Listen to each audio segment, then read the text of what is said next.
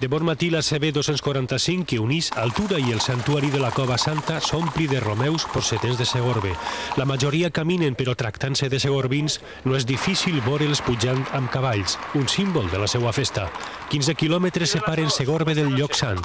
Enguany el paisatge no acompanya els caminants. Yo he tenido un trozo del camino que, que me saltaban las lágrimas, la verdad. Oh, muy triste. Veníamos subiendo y la verdad es que todo quemado se ve, pero fatal. Durant tot el dia d'avui s'espera l'arribada d'unes 4.000 persones.